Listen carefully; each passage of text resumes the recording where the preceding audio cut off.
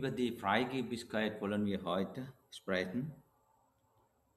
Das Wort Frei, Freigebigkeit, das kommt in Pali-Sprache als Dana. Dana wird als erste Übung der spirituellen Praxis genannt und dann ohne Freigebigkeit ist die Praxis ähm, sage ich, nicht, nicht möglich, aber schwer. Und Freigebigkeit erleichtert eigentlich die Praxis. Praxis bedeutet hier ähm, die Entwicklung, Befreiung des Bewusstseins und des Geistes. Und der Geist wird nicht schnell frei ohne Freigebigkeit. Und unser Leben hat eine Verbindung mit Dukkha. Ob wir annehmen oder nicht annehmen. Dukkha, Unzufriedenheit und Leiden ist der erste Merkmal unseres Lebens. Und von Geburt bis zum Tod erleben wir manchmal bewusst, manchmal nicht bewusst, aber erleben wir dieses Dukkha. Dukkha ist nicht etwas Negatives, aber damit sagt der Buddha nicht, dass der Dukkha eine positiv ist. Dukkha ist weder positiv noch negativ. Das ist Soheit unseres Lebens. Die Soheit des Lebens ist weder negativ noch positiv. Und diese Soheit existiert eigentlich bis zum Nibbana. Das ist eine Befreiung der Erleuchtung. Erleuchtung bedeutet, oder mit der Erleuchtung sagen wir, dass wir dieses überwunden haben, nämlich Dukkha. Es kann auch den verschiedene Entwicklungsstufen des Geistes erlangen wie Sotapanna, Sakadagami, Anagami. Obwohl wir diese Stufen erlangt haben, haben wir aber noch nicht das Dukkha überwunden. Dukkha, Dukkha begleitet bis zum Nibbana. So hartnäckig ist das so schwer zu überwinden. So leidvoll ist dieses. Und dieses nimmt unseren Glück weg. Und so hat der Buddha, als er Bodhisattva war, sehr lange sich bemüht, diese hartnäckige Eigenschaft zu überwinden. Und Wir haben manchmal den Hunger, aber ich sage, verwende ich das Wort manchmal. Hier die Menschen haben Wirklichkeit Hunger noch nicht erkannt. Ohne Erkenntnis des, des Hungers sie essen.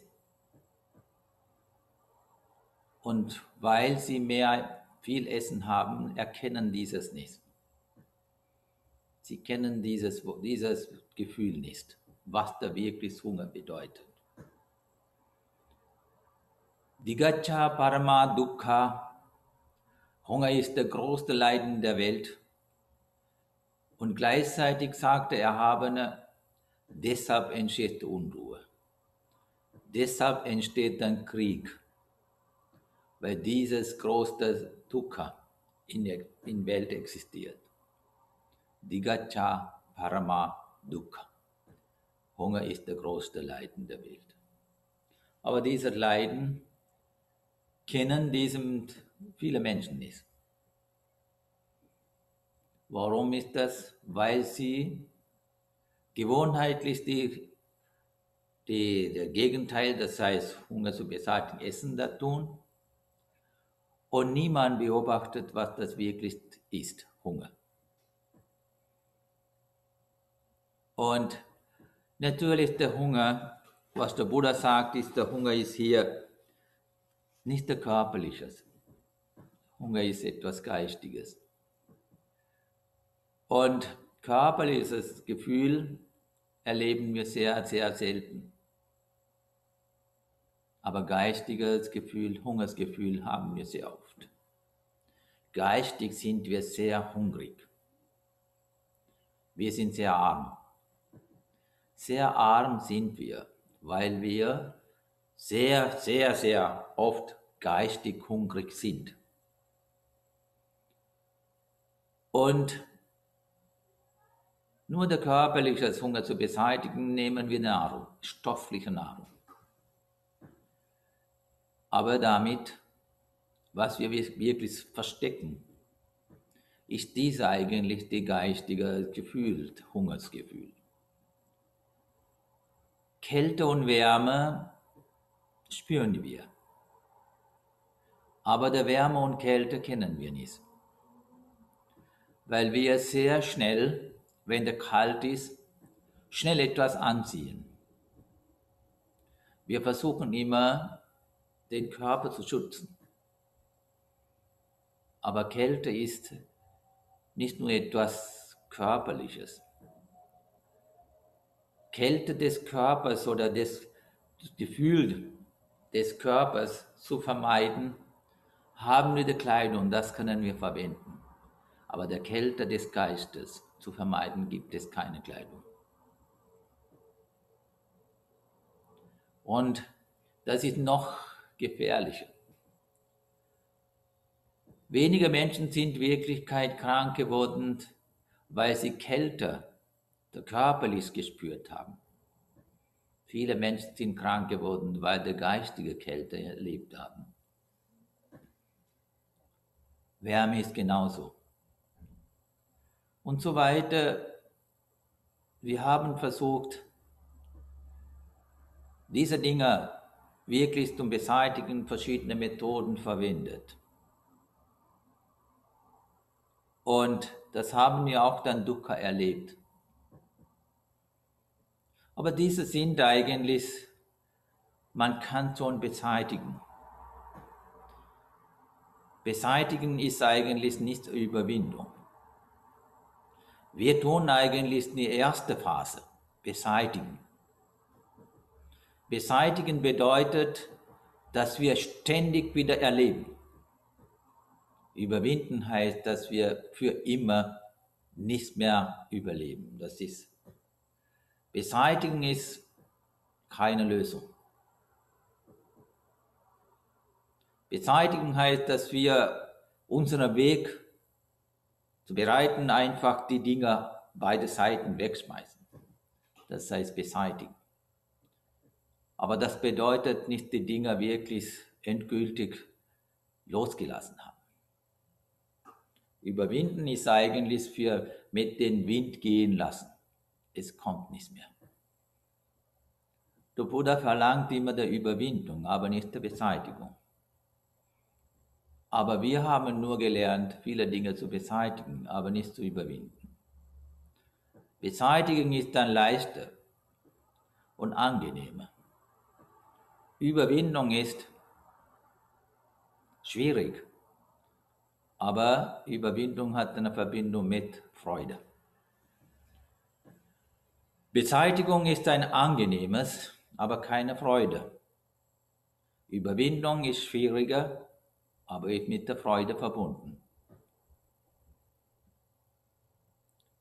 Und wie ich gesagt habe, so erleben wir im täglichen Leben sehr viel Leiden mit Hunger, Kälte, Wärme und so weiter. Aber der größte Leiden entsteht nicht deshalb. Der größte Unzufriedenheit, das größte Leiden entsteht eigentlich, weil wir Upadana haben, weil wir sehr stark festhalten, anhaften. Das ist dann, sagt der Buddha, Upadana, Upadana ist eigentlich das größte, das heißt der Ursache des Leidens. Upadana heißt das nicht loslassen wollen, festhalten, geklebt sein. Und das ist das eigentlich, was der Buddha sagt, das ist die Ursache des Leidens. Nicht wegen der Hunger leiden wir nicht. Doch leiden wir, aber temporal. Wegen der Kälte, wegen der Wärme leiden wir auch, aber temporal, wir haben die Mittel, das zu überwinden. Und diese ist auch dann mit dem Temporalteil, mit der, mit der Zeit verbunden. Dieser Leiden ist zeitlich, mit Zeit verbundenes und auch mit dem Ort verbundenes. Hunger ist auch Zeit und Raum verbundenes. Und dann auch, äh, auch dann die Kälte und Wärme ist auch. Aber mit Anhaften, äh, mit Anhaften, daraus Anhaften entstandene Dukkha ist nicht mit der Zeit verbunden, ist auch nicht mit dem Ort. Und das kann diese Dukkha, diese Unzufriedenheit entstehen im Winter. Und Kälte, mit Kälte verbundene Unzufriedenheit entsteht nur im Winter. Und mit Anhaften, mit Festhalten entstandene Unzufriedenheit entsteht auch im Sommer. Die Wärme wenn wir leiden sollen, ist es nur im Sommer. Aber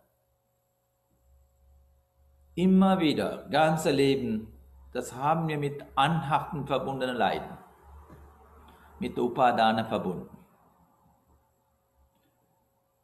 Und gibt es eigentlich, es gibt keine normale Mittel, diese zu überwinden, wie Kleidung, Nahrung und so weiter. Anhaften ist etwas Geistiges. Eine Schwäche des Geistes. Eine schwache Geist ist diese. Anhaften. Anhaften nehmen die Menschen als Schutz. Das ist eigentlich mit der illusionären Vorstellung entstanden als Schutz ist Wirklichkeit. Es ist eine Illusion. Anhaften bringt das Glück. Anhaften hat deinen besten Freund oder sehr, sehr guter Bruder oder Schwester. Das ist die Ablehnung. Ablehnung in Anhaften, beide sind dann das verwandt. Es ist nicht zwei, das ist eins. Und dieser eigentlich, das es begleitet unser Leben.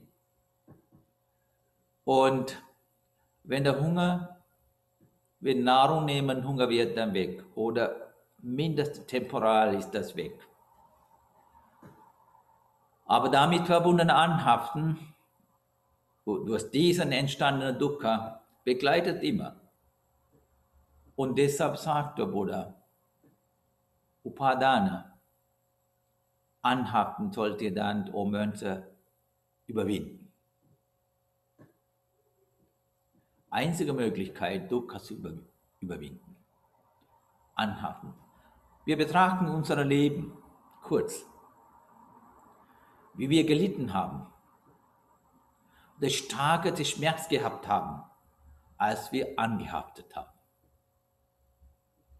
Was haben wir angehaftet? Wir haben einen Körper angehaftet.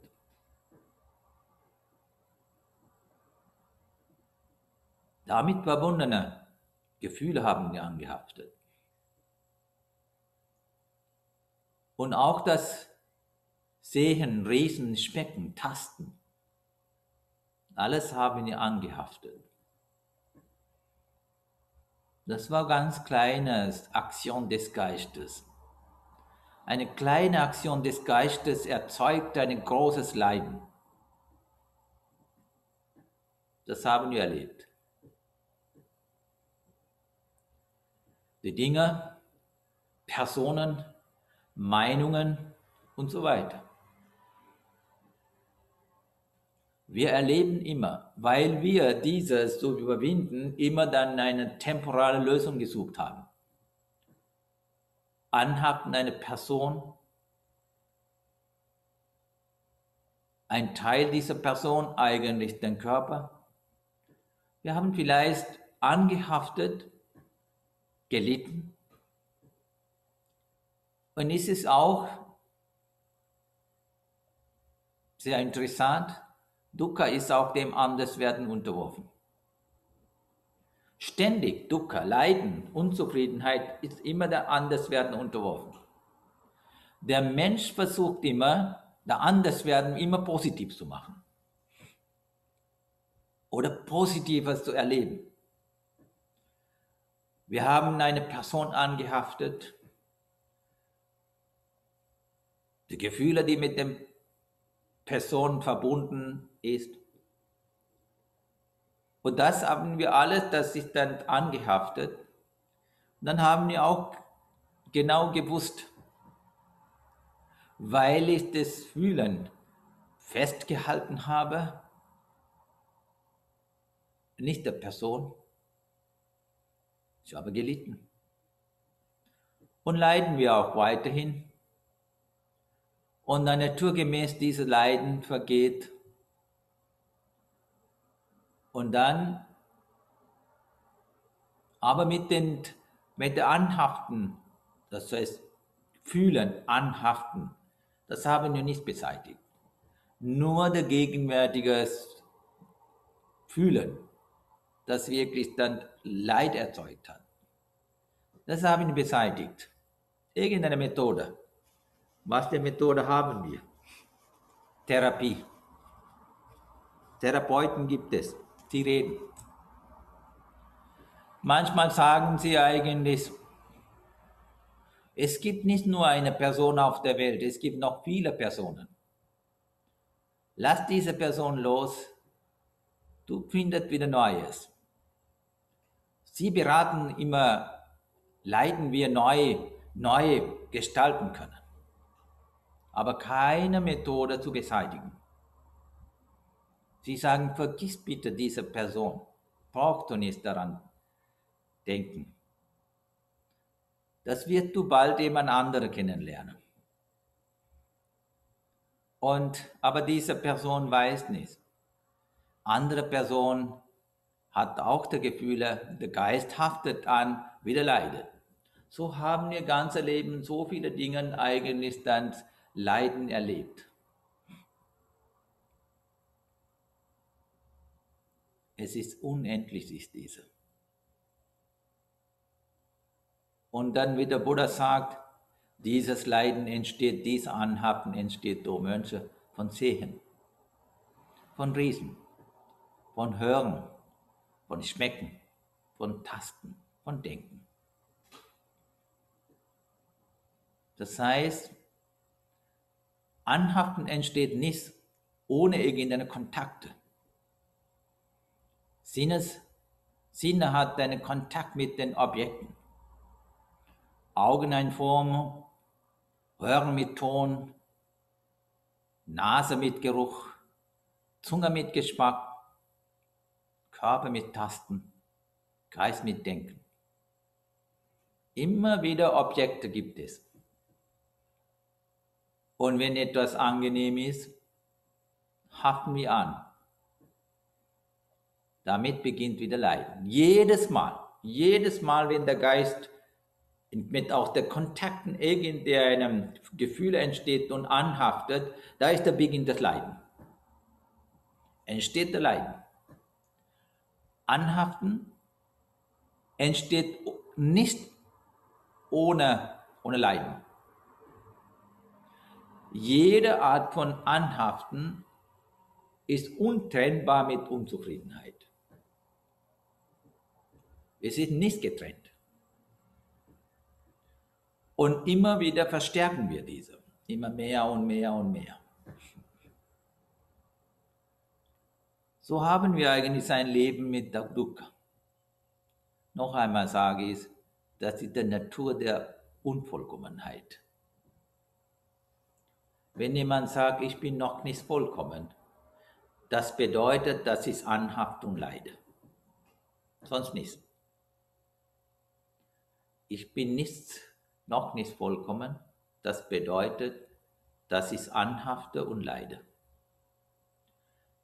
Ich habe Anfang gesagt, ich verwende dieses nicht oft, aber das bedeutet auch, weil ich es ablehne und leide. Das Gleiche. Und so weiter haben wir lange, wir waren im Samsara. Geburt, alt werden, krank werden, sterben, Tod erleben, von Lieben getrennt sein, von, mit Unlieben zusammen sein, viele Wünsche gehabt, nicht erfüllt. Und alles ist eigentlich mit den Leiden verbunden. Und dann ist, kommt eigentlich, wie können wir das beseitigen? Sagt der Buddha, als er Bodhisattva war, ganz, ganz Anfang, haben wir gesprochen. Er war unterwegs mit der Mutter in einem Segelboot. Das Boot ist, ist kaputt geworden. Sehr mühsam hat er dann mit der Mutter, wie sagen, geschwommen und dann ist das Leben gerettet. Der Mutter hatte gesehen, dass der Sohn so ein liebevoller Mensch ist und dann auch das Leben geschenkt hat. Aber diesen Moment war er sehr müde, am Strand liegen. Und der Mutter mühsam geht zu ihm, berührt den Kopf und dann sagt er, Du bist ein wunderbares Kind. Ein wunderbares Kind bist du. Ich möchte eines wünschen. Möchtest du irgendein Buddha werden? Das war eigentlich die erste Erlaubnis, erste Wunsch. Und dann die Mutter hat das eigentlich seinen, dann starke, dann feste, dann Wunsch geäußert. Ein wunderbares Kind bist du. Mögest du irgendein Buddha werden? Dieser hat in seinem Herz berührt, so stark berührt. Und dann, er war sehr nachdenklich. Nachdenklich bedeutet, was er wirklich tun soll. Der Wunsch, der, der, der Wunsch, den Wunsch der Mutter zu erfüllen. Ich sage, wenn deine Mutter einen Wunsch hat, muss sie das tun. Muss sie das verwirklichen. Nachdenkend erlebt er, erkennt er. Was stört Wirklichkeit, diese höchste Position der Welt oder höchste Entwicklung des Geistes zu erlangen? Was dahinter nicht? Was sind die Hindernisse? Und dann hat er, sieht er, geistig können die Menschen nicht entwickeln. Ersten, wenn sie wirklich mit Gier, mit Anhaken leben. Der Charakter wird nicht rein, auch wunderbar, wenn der Mensch mit Gier, mit Anhaken, mit Geiz lebt. Kann er nicht. Und die geistige Entwicklung, geistige Reinheit beginnt mit der Freigebigkeit. Jedes Mal, wenn jemand wirklich etwas frei gibt, und diesen Mal entsteht eigentlich einen, einen, einen Schritt zur Erleuchtung. Jedes Mal, jede Sekunde, jedes Mal, wenn jemand Freigebigkeit übt, er macht einen ganz winzigen Schritt zur Erleuchtung. Es ist nicht nur das Geben. Freigebigkeit ist nicht nur geben, etwas Freigebigkeit, etwas erreichen. Zwei Dinge. Freigebigkeit ist nicht nur ein Geben, Freigebigkeit ist etwas erreichen, nämlich Erwachen oder Erleuchtung. Und so ist eigentlich dann Freigebigkeit, hat dieser junge Mann ersten gesehen.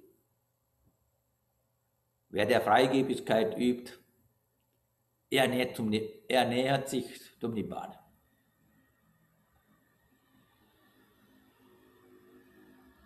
Und dann, aber das hat er nicht erkannt im Paramita, das heißt Erleuchtungsglieder, Erleuchtungskräfte. Er hat nicht gesagt, das ist Geben. Nur geben ist nicht. Gabe geben ist eigentlich, es ist nicht irgendetwas, das der Mensch das innere Anhaften beseitigen. Das ist nicht. Und deshalb ist Freigebigkeit sehr wichtig.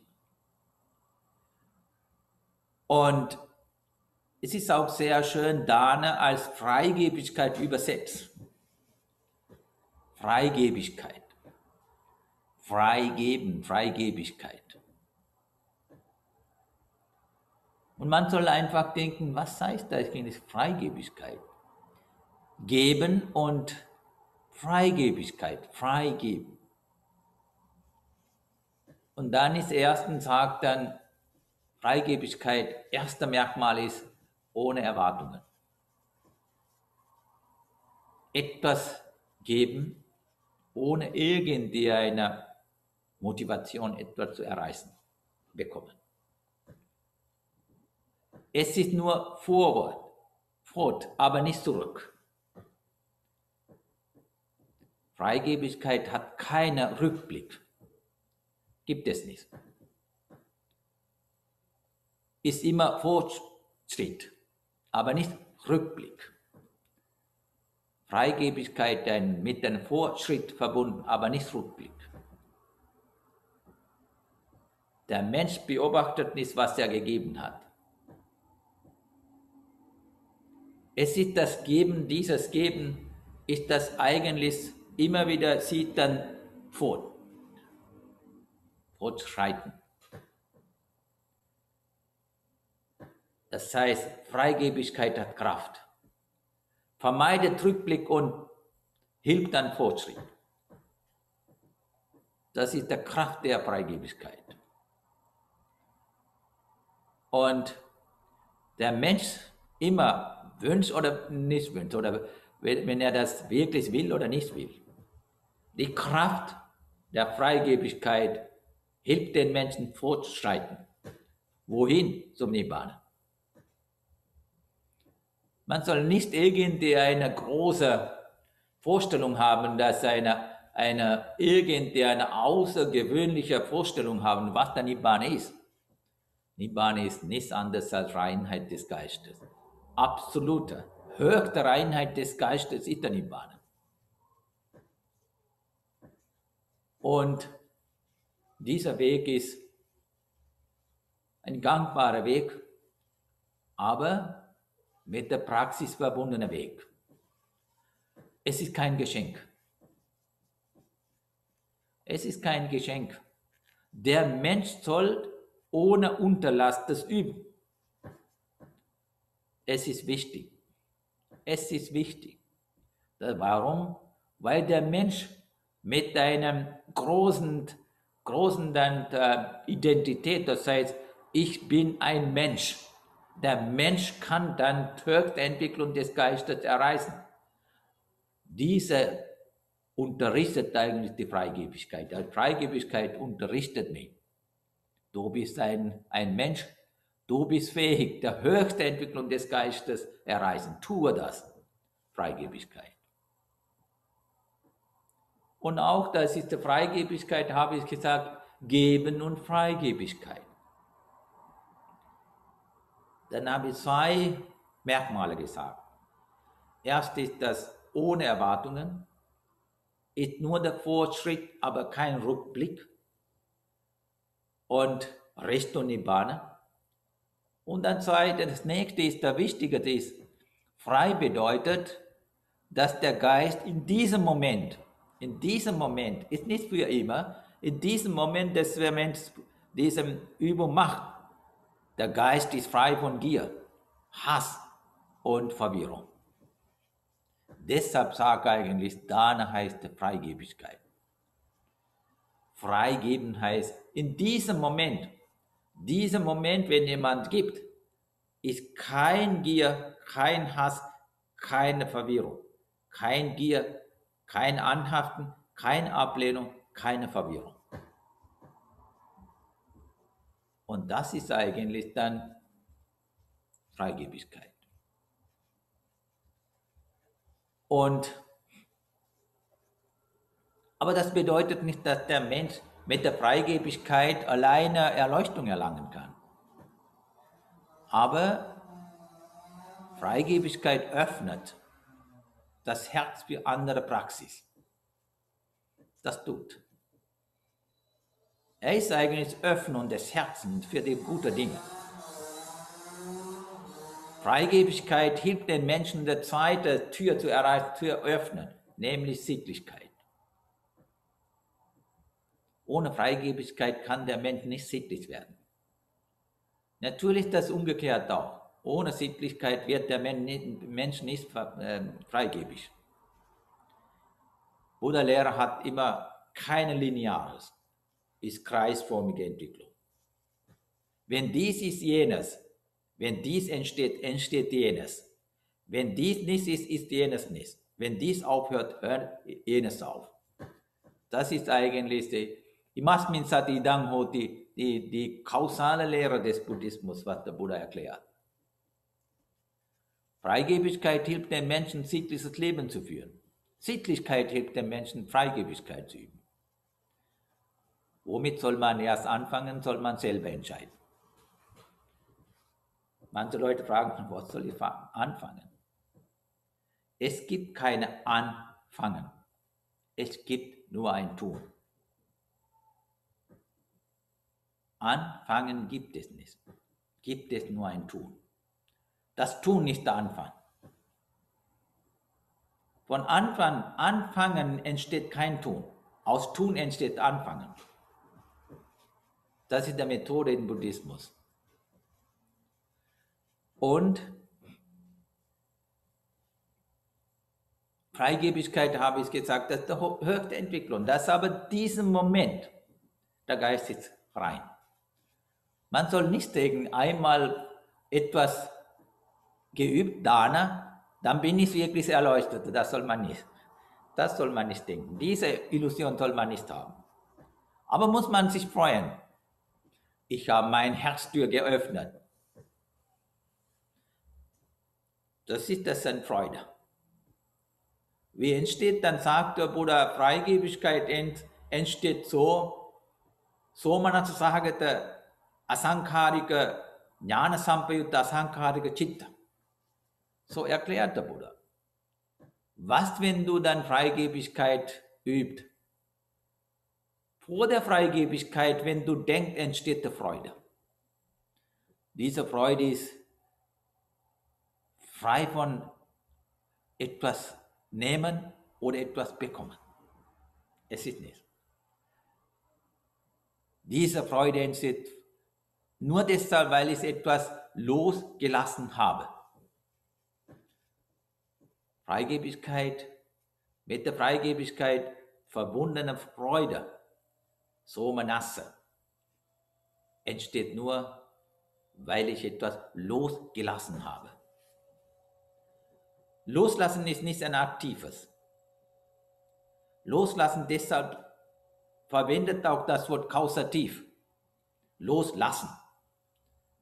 Ist nicht, ich das tue. Loslassen. Gehen lassen. Ist eine Kausative. Kausative heißt, dass es verschiedene, verschiedene ähm, ähm, Konditionen entstandenes Tun oder Handlung. Es ist nicht etwas Gemachtes. Es geschieht. Loslassen ist ein Geschehen, aber kein Tun. Wenn alle Konditionen, zu alle Bedingungen zusammenkommen, entsteht dieses. Und deshalb verwendet das Wort loslassen. Lassen ist Kausative. Und Freigebigkeit, das ist jedes Mal entsteht das Loslassen. Es ist das, Wirklichkeit Freude stört, blockiert, weil ich anhafte. Jedes Mal, wenn der Loslassen bedeutet, ist der Herz wird frei. Aus der Freiheit entsteht der Freude. Anhaften ist Leiden, Loslassen ist der Freude. Wenn jemand sagt, nein, ich habe nur das Freude, wenn ich es anhafte, dann sage ich es, wird der Buddha auch sagen, dann versuche immer das anzuhaften. Du wirst selber irgendwann ja merken, dass es aber keine Freude ist. Weil wir so denken. Wenn ich dies und jenes habe, werde ich glücklich.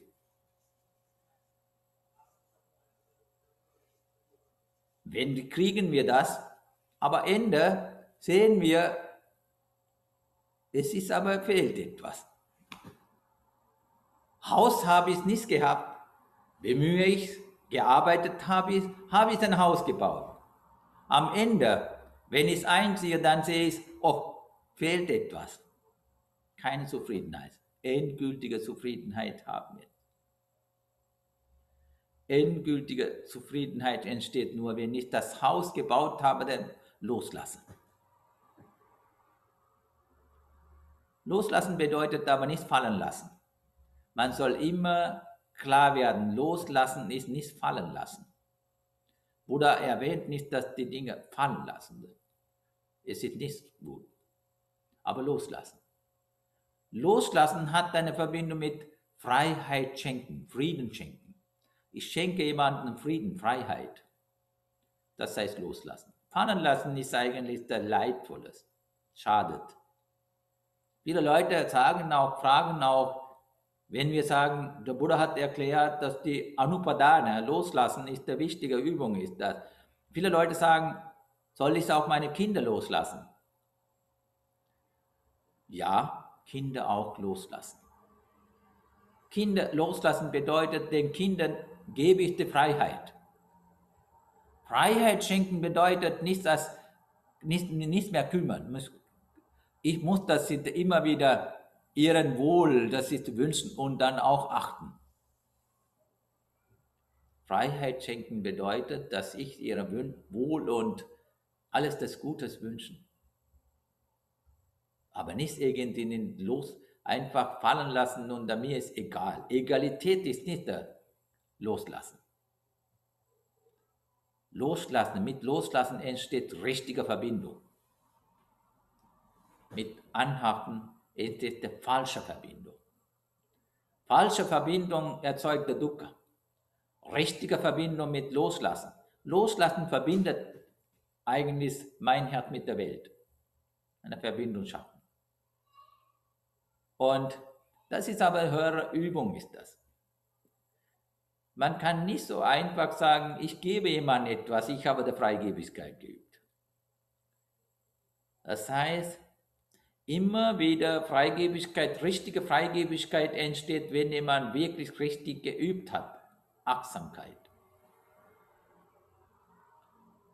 Im täglichen Leben soll man wirklich den Körper und der Geist richtig erkennen, wie der Körper und Geist wirklich ist. Und der, der Wirklichkeit gemäß soll man Körper oder Geist richtig erkennen. Oder beides soll dann der erkennen. Wenn wir eigentlich der Körper und Geist richtig erkennen, und dafür brauchen wir eigentlich die Übung der Achtsamkeit.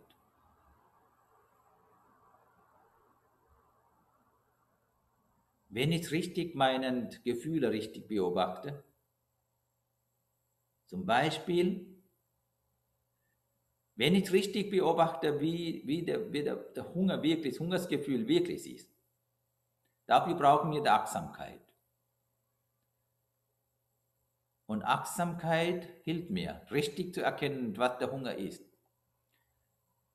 Dann habe ich es wirklich erkannt, wenn ich es richtig erkenne, was der Hunger wirklich ist, da kann ich auch den Hunger der anderen richtig erkennen. Sonst können wir nicht. Und deshalb viele Leute denken, was ist wirklich der Hunger zu beseitigen, verwende ich nur etwas Essen. Ich denke, Hunger zu beseitigen gibt es nur einzige Möglichkeit. den Menschen Essen spenden. Das ist eine Temporallösung. Wenn ich wirklich den Hunger richtig beobachte, und viele Dinge kann ich erkennen, die Ursache der Hunger. Alle möglichen Dinge kann ich dann erkennen. Und deshalb ist das sehr wichtig, dass der Mensch achtsam die Dinge im täglichen Leben beobachtet. Wenn jemand wirklich den Namen und Rupa, der Körper und Geist richtig erkennt, der kann richtig dann Freigebigkeit üben. Erkenne erst den Namen und Rupa richtig, dann entsteht die Übung der Freigebigkeit. Freigebigkeit ist nichts anderes als Loslassen. Freigebigkeit ist ein Synonym oder der zusammenkommende Wort ist eigentlich Loslassen. Freigebigkeit es beginnt mit Loslassen, endet auch mit Loslassen. Ganze, ganze Aktion, der ganze Akt begleitet die Loslassen. Von Anfang bis Ende. Freigebigkeit beginnt mit Loslassen, existiert mit Loslassen, löst sich auch mit der Loslassen. Eine wunderbare, eine wunderbare Charaktereigenschaft des Menschen. Eine, eine sehr schöne, freudige Charakter ist dieses. Man soll aber nicht denken, dass es alles, das es dann weggeben soll. Wenn das geht, muss man alles loslassen, alles freigeben. Aber das bedeutet nicht, die Freigebigkeit, die Freigebigkeit macht die Menschen nicht arm. Man soll nicht denken. Freigebigkeit macht die Menschen reich, aber andere Art von reich andere Art von Reichtum. Und sie haben Freude. Sie, haben, sie erleben das Glück. Was brauchen wir wirklich in unserem Leben? Sagt der Buddha zwei Dinge. Glücklich sein und frei sein von Gier. Das wünschen wir. Glück und Zufriedenheit heißt das. Sagt der Buddha, Tag und Nacht, von Geburt zum Tod, bemühen Sie Menschen diese Weise erreichen. Glück und Zufriedenheit. Und immer wieder suchen wir das Außen. Suchen wir nur Außen. Außen suchen und wechseln. Das ist der Übungsmethode der Glück und Zufriedenheit zu erleben. Suche existiert draußen Methode ist Wechsel. Das haben wir gemacht, machen wir auch. Religion wechseln, Übung wechseln, Beziehung wechseln, Beruf wechseln, alle möglichen Dinge wechseln. Wir denken, oh, endlich bin ich glücklich, ich bin zufrieden. Laufe der Zeit, Anfang und Ende ist das Gleiche. Das ist dann Anfang des Glücklichsein, Ende des Glücklichseins ist der gleiche. Das so vergleitet das. Und dann ist das Wirklichkeit, dann ist das, wenn wir Freigebigkeit üben. Wenn wir das, das ist, ich habe gesagt, Freigebigkeit ist nichts anderes als Loslassen. Das Leben soll eigentlich sein, mein Leben soll ständig das Loslassen begleiten. Man soll immer in jeden Tag am Abend liegen, das wünschen. Möge mein Leben immer mit der Freigebigkeit der Verbindung schaffen. Loslassen. Das sollte immer wünschen. Es immer der freigebig sein. und so weiter. Immer, das ist dann diese Übungen soll man immer das, mindestens soll man dann geistig wünschen.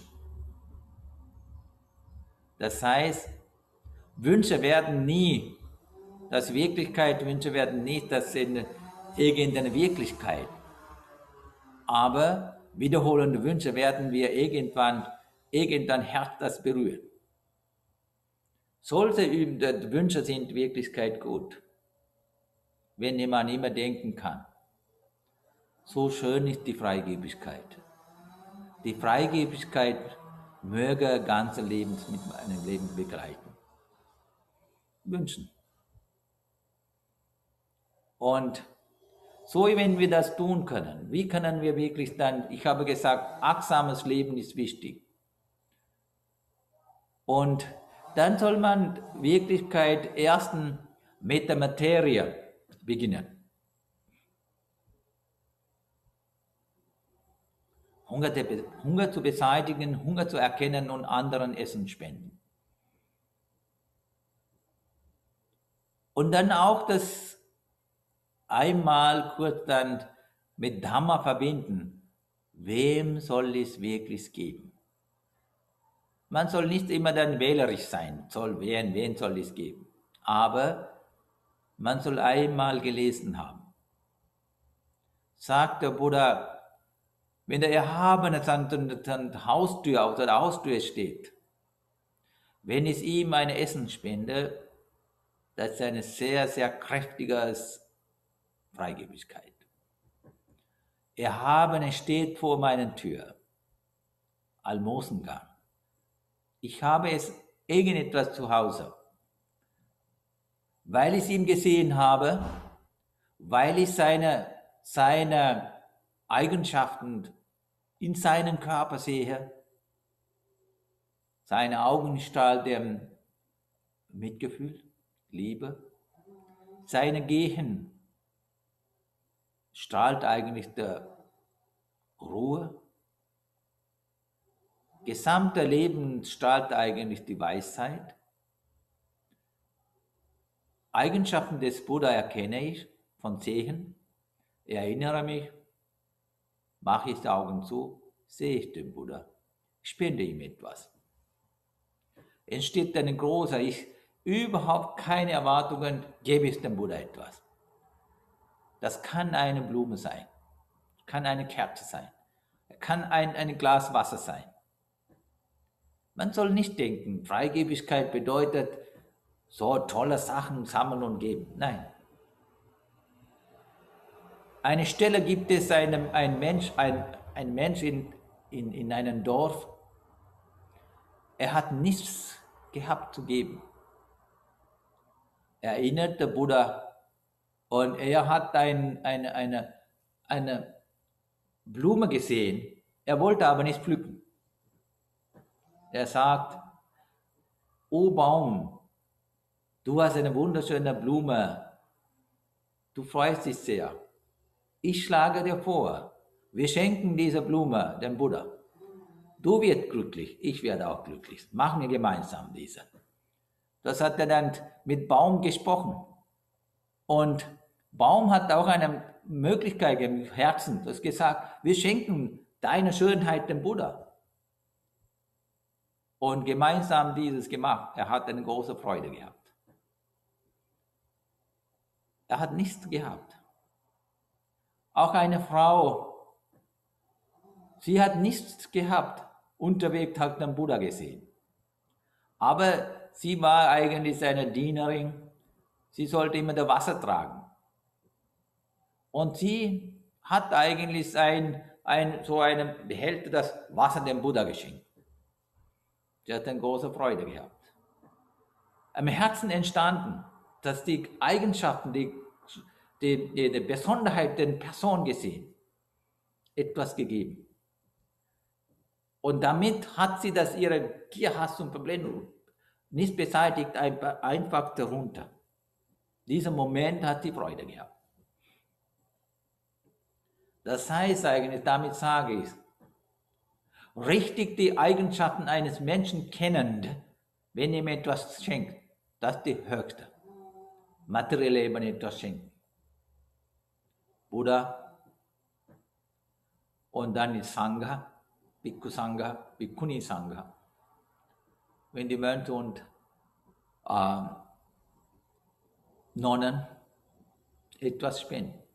Man kann fragen, warum, warum sagen der Mönch immer der Mönch etwas spenden? nicht wegen, dass wir etwas kriegen wollen. Buddha sagt, Freigebigkeit ist für die Laien sehr wichtig. Materielle Ebene. Ihr sollt immer dann euren dann aufmerksam machen. Euer Leben soll dann reinhalten und dann zu ihnen dann diesen, diesen Wunsch erwecken. Freigebigkeit üben. Und der Mönch ist eigentlich freiwillig, freiwillig viele Dinge losgelassen. Und wie der Buddha sagt, ihr habt eine, einen niedrigsten Lebensunterhalt ausgewählt. Von Betteln, von Almosen zu leben. Es ist nicht etwas Angenehmes. Aber ihr habt das ausgewählt. Warum? Sabba Dukkha Nisaran Nibbana. Alle Leiden zu beseitigen, Nibbana zu verwirklichen, habe ich diese Lebens, Lebensweise das ausgewählt. Und langsam werde ich das tun. Und so ist eigentlich, deshalb sagt der Buddha, die zweite ist eigentlich Mönch und Sangha, Mönch und Nonnen.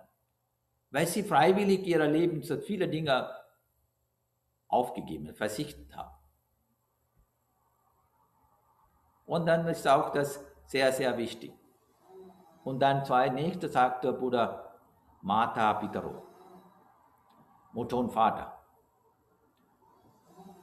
Und manche Stellen sagt der Buddha, nur der Erleuchtung gibt es nicht, aber Mönche. Die Mutter hat auch dann sehr viele Eigenschaften des, eines Buddha.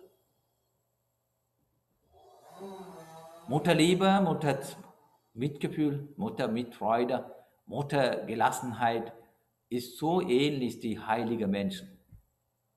Die Mutter ist noch nicht heilig, aber von diesen Eigenschaften zeigt sie, dass sie ein heiliger Mensch ist.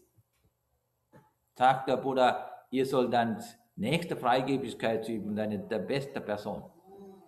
Ich meine, in dem materiellen Leben sage ich das alles. Ob sie brauchen, viele Leute sagen, mein Vater braucht nichts, er hat alles. Freigebigkeit ist nicht etwas Fehlendes erfüllen. Das ist nicht. Man soll nicht denken, mein Vater hat genug, was soll ich geben? Nein. Das heißt, etwas fehlt, das will ich erfüllen. Das ist nicht. Freigebigkeit, das keine Fehlende zu erfüllen. Das ist überhaupt nicht. Das ist nicht. Mein Vater hat so viele Eigenschaften, meine Mutter hat so viele Eigenschaften. Ich möchte diese Eigenschaften achten und verehren. Deshalb gebe ich etwas.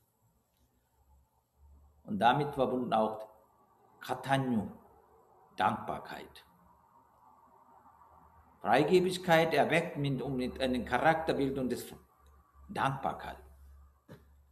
Katanyu Katavedi Pugalo Dullabo Lokasmi. O Mönche, die, die dankbare Menschen sind sehr selten auf der Welt. Man soll zeigen, durch die Freigebigkeit kann man zeigen, dass ich ein dankbarer Mensch bin. Und das ist aber nicht meine Motivation. Aber das wird automatisch entstehen. Und deshalb ist das Mutter und Vater, sagt der Buddha, bis zum Tod sollt ihr dann pflegen. So wichtig sind sie unvergleichbar dann mit anderen Menschen, Mutter und Vater, eigene Mutter und eigene Vater. Und dann gleichzeitig sagte dann, der Mutter ist keine Weiblichkeit, Vater ist auch keine Männlichkeit. Ist überwunden Weiblichkeit der Mutter. Vater hat der Männlichkeit überwunden. Und deshalb, sie sind eigentlich dann, sie, sie vertritt eigentlich keine Geschlecht. Für mich ist meine Mutter ist keine Frau. Meine Mutter, mein Vater ist kein, kein Mann. Und deshalb, was ich mit einer Frau wirklich tun möchte, tue ich nicht mit meiner Mutter nicht. Mit meinem Vater auch nicht. Weil ich das sehe ich nicht als Frau, als, Mut, als Mann. Es ist überwunden. Deshalb sagt der Buddha, es ist eine, eine sehr, sehr eine gute, guten Platz, Freigebigkeit zu üben. Weil sie da genauso wie der Mönche und Nonnen. Das ist eine Platzwirklichkeit, eine, das deshalb sagt er, in, wenn der Sangha verehren, sagen wir, äh, äh,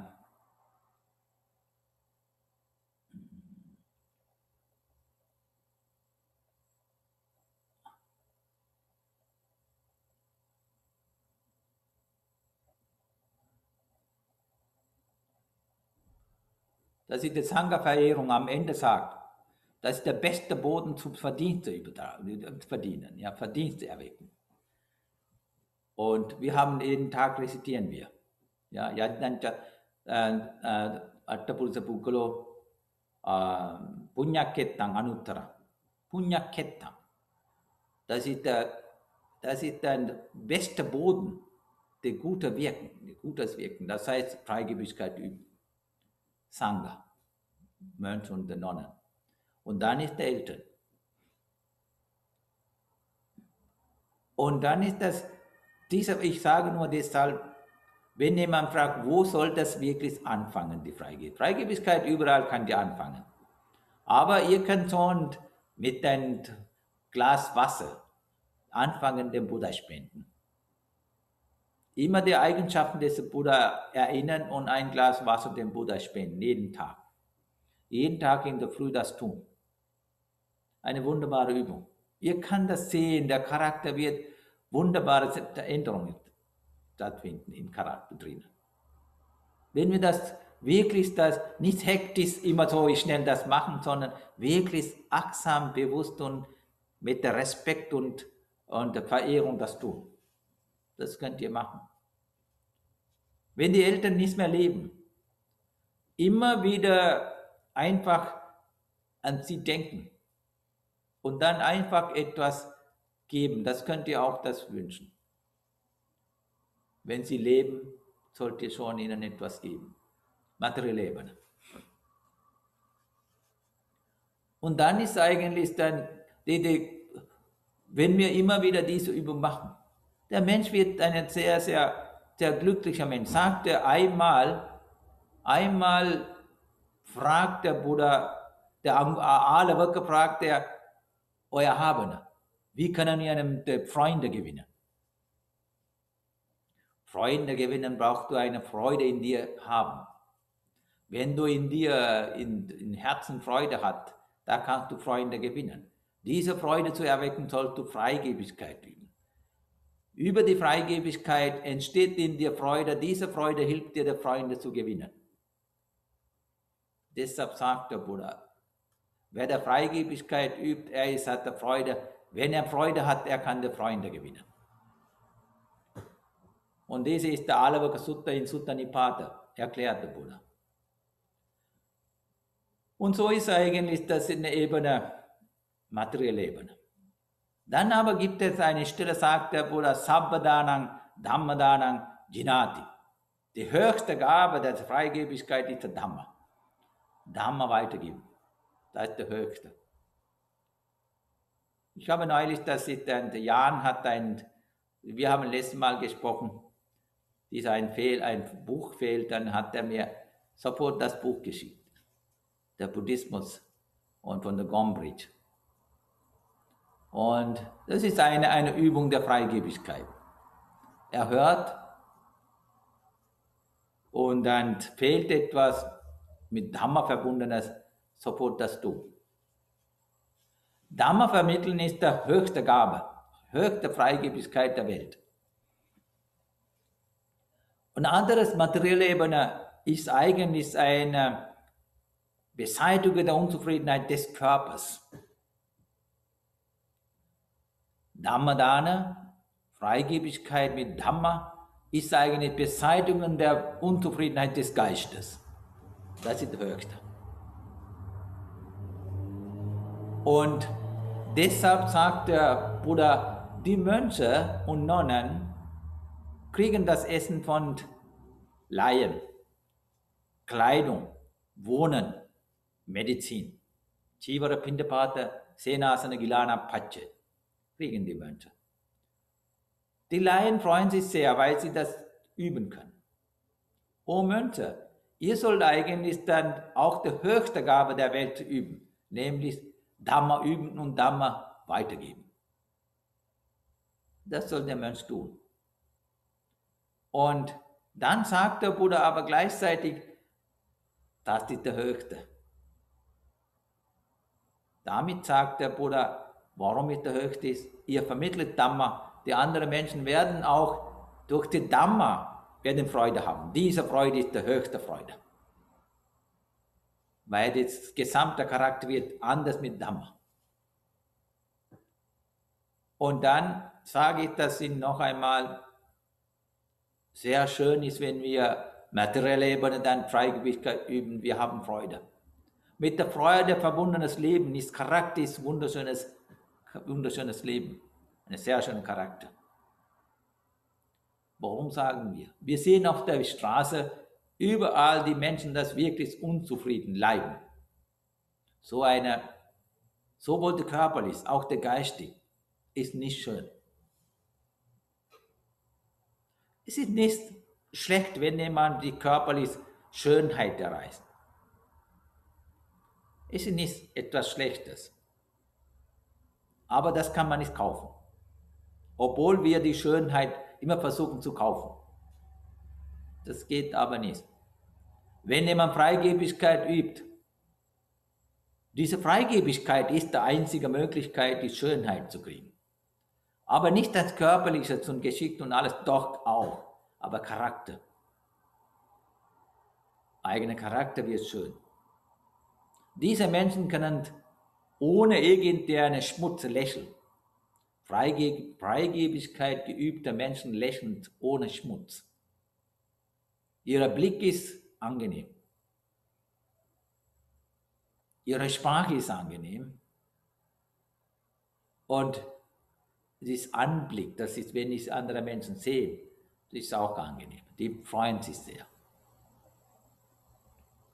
Und das alles entsteht eigentlich, weil der, dieser, dieser angenehmes Charakter entsteht eigentlich, weil sie Angenehmes im Herzen erlebt hat. Dafür brauchen wir Freigebigkeit. Deshalb sollen wir üben.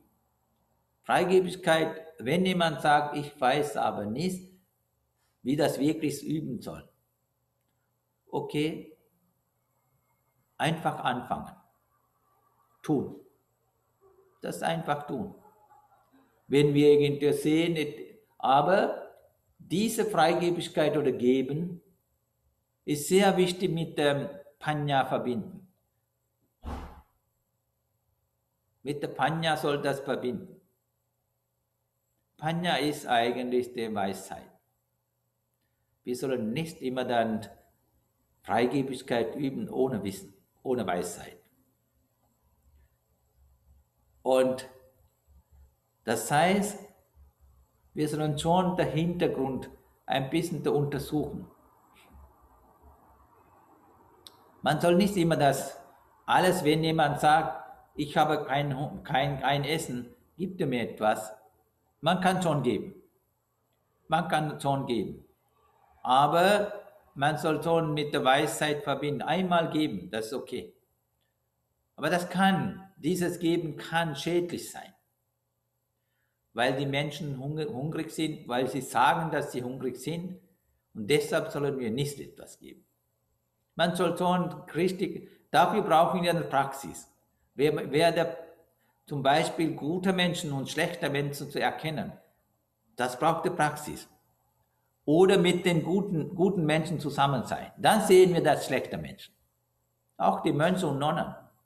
Wenn jemand längere Zeit mit Mönchen zusammen sind, sofort kann sehen, ah, der ist aber, dieser hat keine gute Qualität. Nicht vermeiden, nicht ablehnen, aber das erkennen. Ich gebe, ich gebe etwas, aber ich weiß. So mit der Wissen, mit der Weisheit etwas geben. Und nicht aber immer denken, ich habe eine, so etwas gemacht, ah, toll, dass er kann dies und jenes tun. Das ist nicht. Manche Leute zum Beispiel Geld oder auf der Straße sagen, bitte gib mir etwas Geld. Und ich gebe das etwas. Aber ich weiß, vielleicht trinkt er einen, einen Bier. Ja? Nicht um etwas essen, sondern diese Alkohol etwas zu trinken. Ich gebe einmal, zweiten Mal gebe ich, dritten Mal gebe ich es auch, vierten Mal rede ich mit ihm. Warum willst du das wirklich immer der Geld haben? Wenn jemand wirklich von Geben das Vertrauen gewonnen hat, er, er sagt Wahrheit. Ich gebe einmal, zweimal, dreimal. Er gewinnt. Dann ist er mit Geben, habe ich das Vertrauen gewonnen. Jetzt kann ich mit ihm reden. Ich sage, das habe ich auch gemacht hier. Ich habe mehrere Mal, dass ich den Leuten einfach, ist es das gegeben, sie merken sofort, weil ich es Roban habe.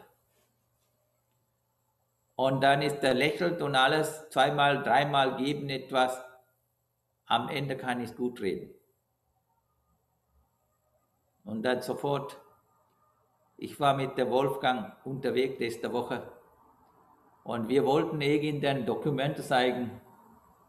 Und die Frau ist gekommen, sofort hat gemerkt, hat gesagt, ja, Sie haben schon gezeigt, ist okay. Weil, weil Sie mir gesehen haben, der Robe, sofort gemerkt. Und so ist eigentlich auch, wir, wenn, wenn, wenn der, der, der Bettler, wir nehmen der Bettel, und er, ich habe gegeben, dass ich robe alles in, in, im Begriff, im Kopf. Und nicht nur das, er hat gemerkt, dass ich gebe. Und geben, das ist der Vertrauen gewonnen. Da kann ich mit ihm reden. Frage ist, warum tust du das? Dieser Mensch sage die Wahrheit. Manchmal sagen sie dann, ich möchte ein Bier trinken. Deshalb. Ich kann mit ihm reden. Es ist schädlich, was du das tut. Kannst du dir das nicht dann irgendwie überwinden? Und so weiter. Ich kann mit Dhamma in ihnen helfen, weil ich da Vertrauen gewonnen habe. So sollt ihr auch denken. Nicht einfach sagen, ja, er wird ein Bier trinken, ich gebe kein Geld. Nein, geben. Ich weiß, dass er ein Bier trinkt aber einige Male geben, Vertrauen gewinnen und ruhig reden. Warum tust du das eigentlich? Und dann ist das Wirklichkeit Freigebigkeit. Geben hat deine Vertrauen gewonnen. Das Vertrauen hat ein Gespräch geführt. Dieser Gespräch hat ihm geholfen. Vielleicht der Mensch wird das wieder gut. Und deshalb ist es sehr wichtig, solche Übungen das immer machen. Nicht das einfach sagen, nein, ich gebe dir, das ist eine Organisation, ich werde kein Geld geben. Naja, etwas geben. Ich meine, zu Hause habt ihr so viele, so viele Wechselgeld, irgendwo eine Flasche oder so, das, das, das irgendwo. Verwendet ihr nicht. Und das könnt ihr einmal für diese Übung verwenden. Einfach euren, euren, euren Tasche irgendwo, für diese Freigebigkeit habe ich 10 Euro Wechselgeld. Das könnt ihr mitnehmen. Das ist nicht so viel. Und damit könnt ihr viele Menschen helfen. Eine Person, wer das sieht, er macht nicht etwas Richtiges. Er ist seine, er verwendet das, ist seine, das ist falsch alles. Gibt er ihm. Und diese falsche Verwendung könnt ihr wirklich korrigieren. Ist nicht so, nicht so einfach, aber könnt ihr es bemühen. Einmal geben, zweimal, dreimal Vertrauen gewinnen, mit ihm reden. Einfach fragen, warum tust du das alles?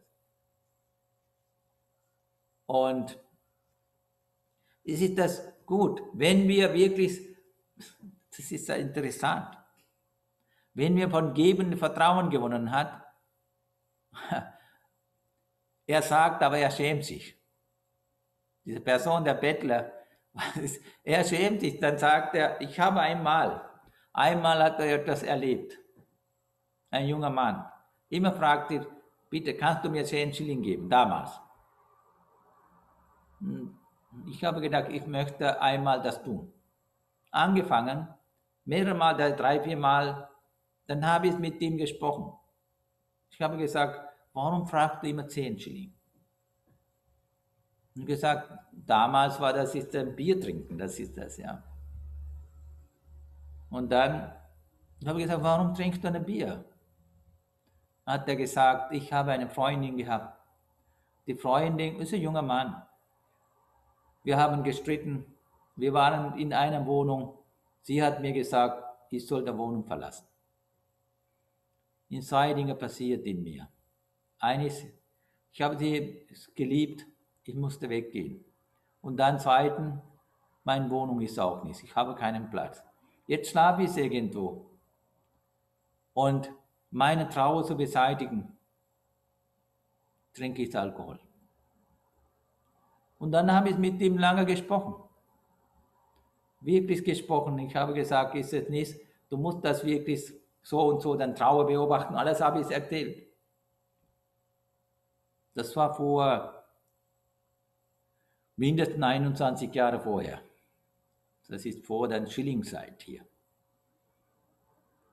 Vor Eurozeit. Nachher habe ich es nicht mehr gesehen.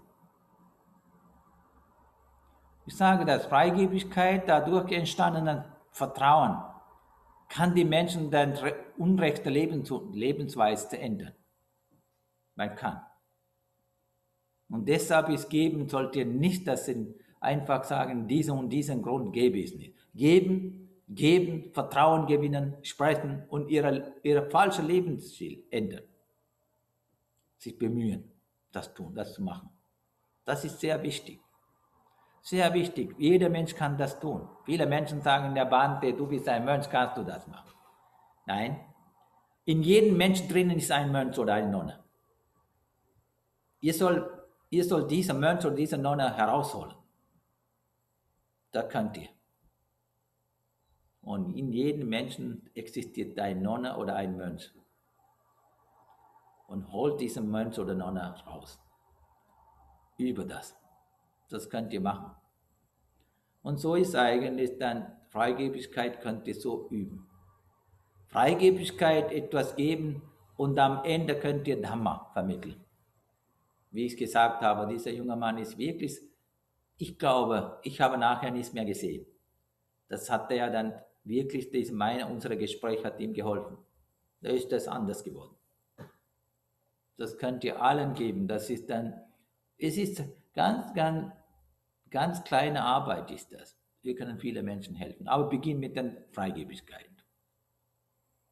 Und so können wir im täglichen Leben, wie es ist, praktizieren. Hauptsächlich der Buddha Dhamma Sangha sollte immer unterstützen. Das ist schon wichtig. Und auch dann ist dann Dhamma Dana ist sehr wichtig, wie ich gesagt habe. Wenn jemand wirklich dann etwas Falsches tut, könnt ihr dann wirklich dann helfen mit Dhamma. So können wir unser Leben ist mit Glück verbinden. Wir werden glücklicher Menschen. Unser Charakter wird sehr schön, rein. Und äh, das ist das eine große Hilfe für geistige Entwicklung. Damit können wir das Samsara beenden und Nibbana verwirklichen. Vielen Dank, dass Sie es gehört haben. Wenn ihr etwas fragen wollt, bitte der Zeit, könnt ihr das machen.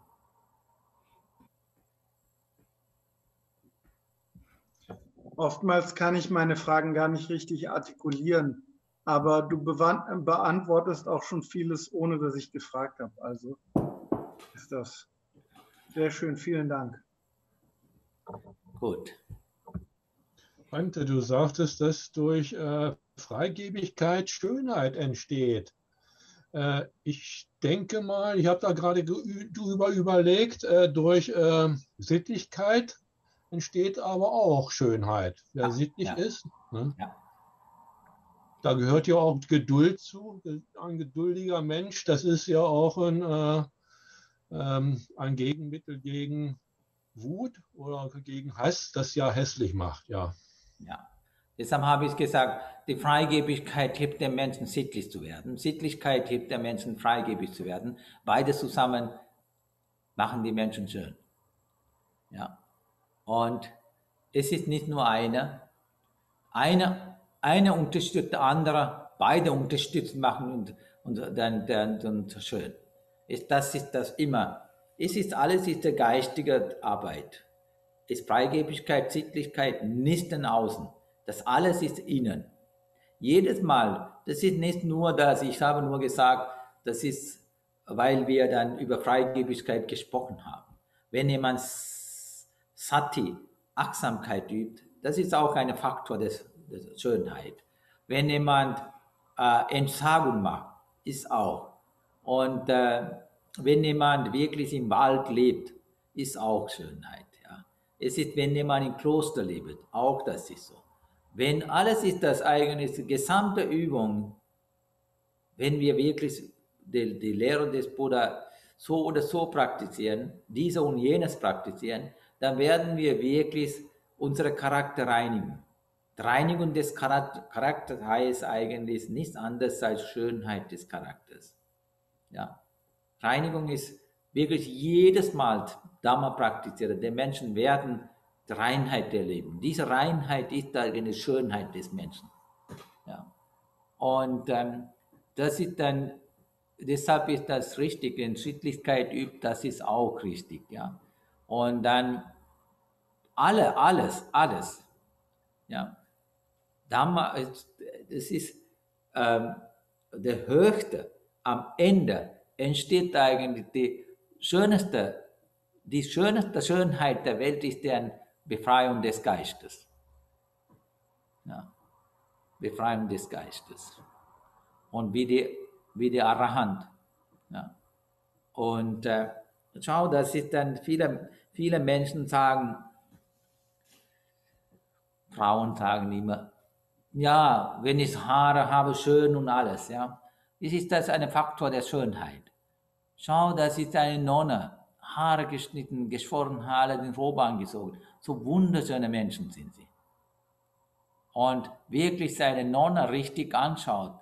Sie hat alles, was die Schönheit als Schönheit vorher gedacht hat, alles nicht mehr da.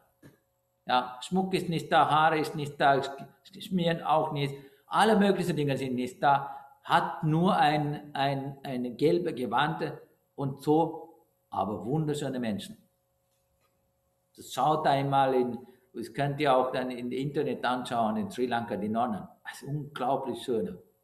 Aber die Schönheit, was wir das einen Faktor haben, ist Schmuck, nicht mehr. Das heißt, loslassen, das Loslassen macht die Menschen schön. Ja, danke. Lieber Bante, darf ich dich noch fragen? Der Buddha hat doch eine Anweisung gegeben oder irgendwann erklärt, wie man mit seinem Vermögen umgehen soll, also wie man das aufteilt. Ja, ja. Kannst du das noch?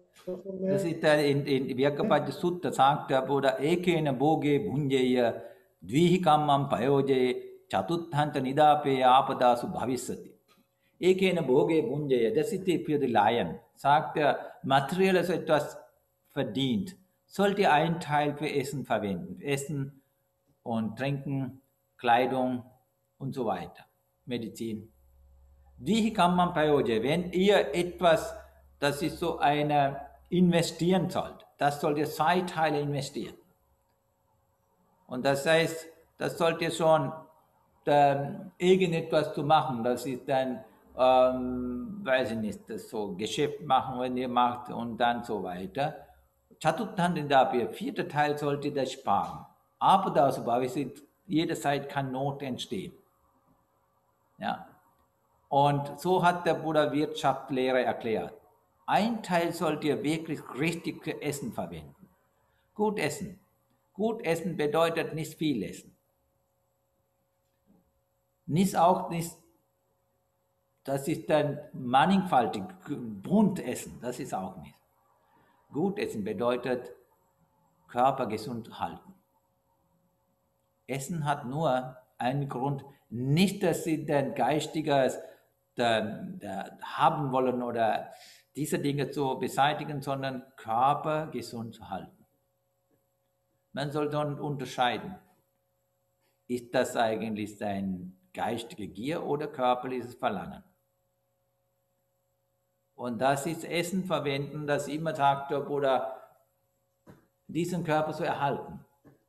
Warum? Brahmacharyanuggahai, ein reines Leben zu führen. Ja. Und dann ist das zweite ist das Medizin. Medizin verwendet man nur Krankheit zu beseitigen, aber nicht Schönheit zu werden. Das ist nicht. Aber viele Menschen nehmen der Medizin, das schön zu werden dies und jenes. Das ist nicht. sagte Buddha, das ist nur der Medizin. Medizin entstanden deshalb, Krankheit zu beseitigen. Aber nicht irgendein anderer Grund. Wenn jemand nicht krank ist, braucht er keine Medikamente nehmen.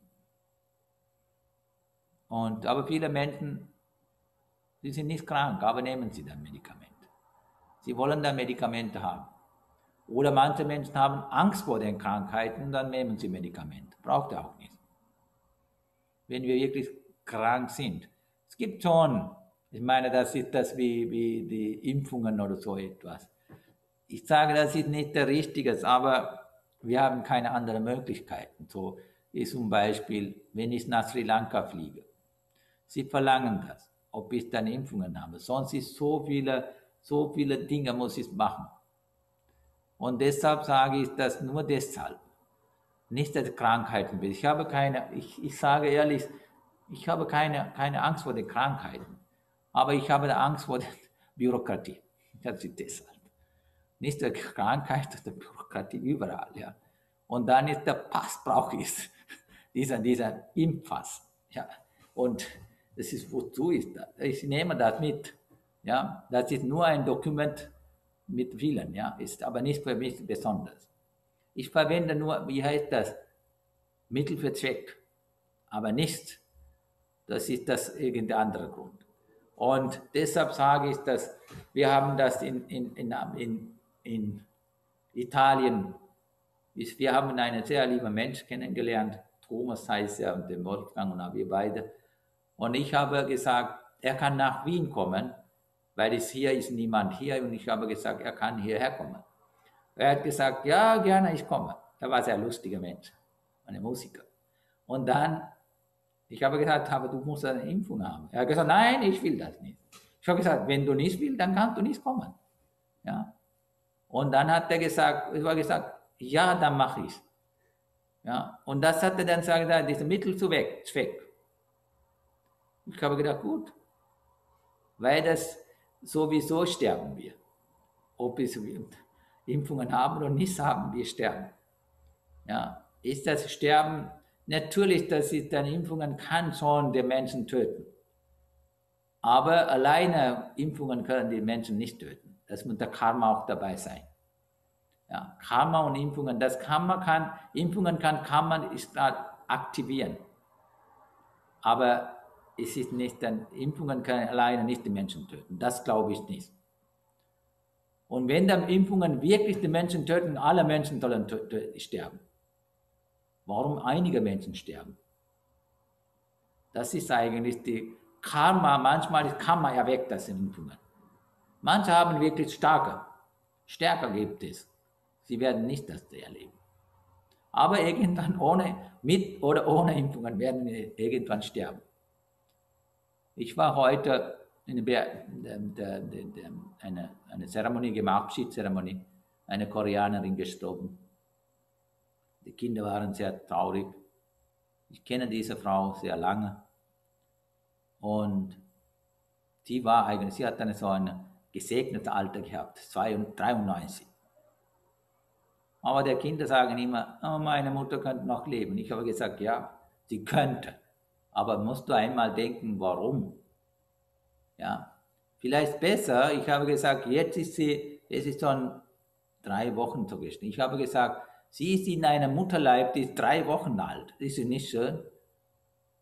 Das ist schön. Warum soll 93 alte Frau so leben, ist nicht besser. In einem neuen Mutterleib ist drei, drei Wochen, das ist eine, das ist jetzt kommt irgendwie zurück, dass irgendwie auf die Welt. Sie kann vielleicht eine schöne Dinge machen auf der Welt.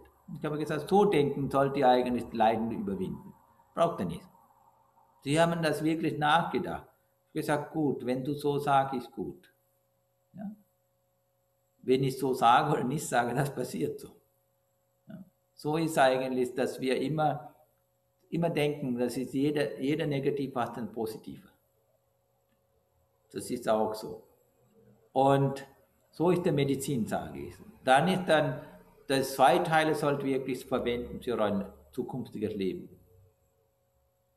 Weil das, früher, das haben die Menschen wirklich, die staatlichen die Beamten oder die Arbeiter gab es weniger. Sie haben irgendeinen Business gemacht oder irgendeine Feldarbeit gemacht. Sie haben, der Buddha hat gesagt, zwei Teile sollt ihr wirklich sparen. Für den nicht sparen, sondern das verwenden für diesen. Und dann hat er gesagt, der vierte Teil sollt ihr sparen. Aber das ist ausdrücklich sagt, Apada Subhavisati. Leben ist nicht frei von Not. Ja.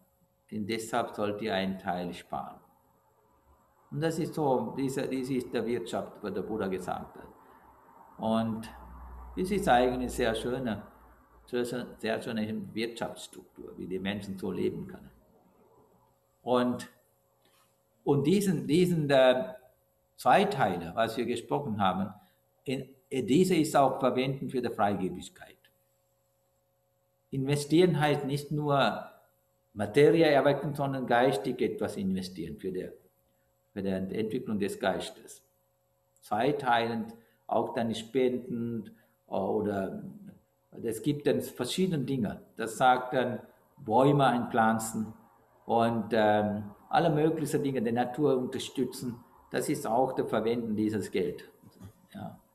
Und investieren bedeutet diese. Den Ashoka hat das alles so gemacht. Der, wir werden bald darüber reden, Mittwoch. Ashoka hat dann viel, viel so investiert. Die Straßen, dann, dann sagt er in, in der Geschichte, sagt, die Straßen war der ganze, ganze Land, beide Seiten die Bäume gehabt, ein Platz. Das war, das ist, das ist immer, das ist beide Seiten dann, dann Bäumen zu gesehen. Und jeder Yojana, Yojana heißt vier Kilometer, vier, fünf Kilometer hat er eine, eine Stelle Wasser, ich mag Menschen zu trinken. Und, und dann ist er fünf Kilometer, nicht fünf Kilometer, zehn, 15 Kilometer immer einen Ort, einen, einen Platz gemacht, auszuruhen. Straße, das heißt Gäst, das heißt Resthaus gebaut. Das soll man sagen, ein toller König war der Ashoka. Und ähm, dann hat er auch dann investieren, das alles so gemacht als König. Ja. Solche Menschen, solche Politiker brauchen wir. Nicht aber der, die Politiker der Bäume wegnehmen. Das ist, wir haben solche, besonders hier auch, aber in Sri Lanka ist es noch mehr. Gut.